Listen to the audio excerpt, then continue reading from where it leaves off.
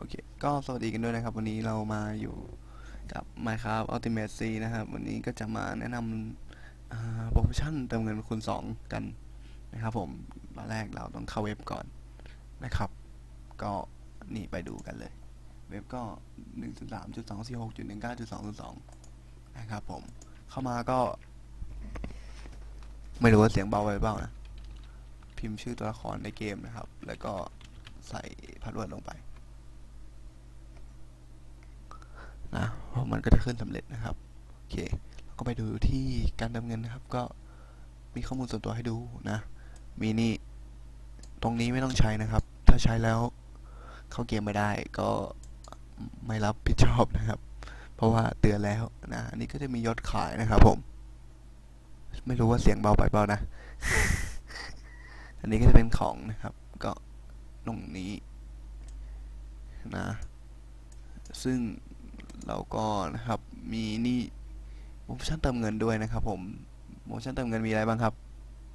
ก็เติมเงินคูณสองตั้งแต่วันนี้ถึงวันที่ยี่สิบสี่ธันวาคมนะครับ ก็นะครับ นี่มีอัตราการเติมเงินแลกพอยต์นะครับ ก็คือเติมปุ๊บพอยต์จะขึ้นนะโอเคก็แล้วต้ถ้าองพอยไม่ขึ้นนะครับ อืมนั่นสิ นะครับก็ต้องแจ้งแอดมินครับนะโอเค ก็สถานะระบบนะครับ ก็ต้องให้มันออนไลน์เนาะ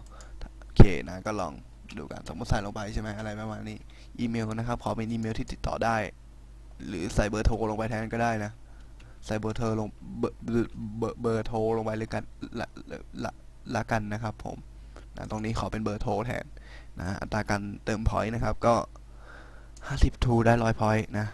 อันนี้ก็ 90 ทรูได้ 200 ไม่ต้องงงนะครับ ว่าคูณ 2 มันได้ 200 ได้ยังไง ก็คือคูณ 2 จะได้ 180 แต่เนี่ยแถมให้นะโอเค อันนี้ก็ 150 นะครับ ได้ 300 point 300 ได้ 600 นะครับ 500 ได้พันหนึ่งอันนี้ 1,000 ได้ 2,500 แถมให้อีก 500 นะครับผม ก็หลักการซื้อของนะครับ ก็คือ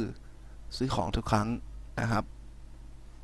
ต้องอยู่ในเซิร์ฟไม่งั้นของจะไม่เข้าตัวอะไรประมาณนี้นะครับ นี่คือเตือนแล้ว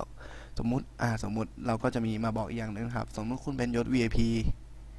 สองราคา 200 ใช่ไหมตอนนี้เป็นอยู่ก็มีอยู่สองก็ถือว่าตัวเรามี ถือว่าตัวเราเป็น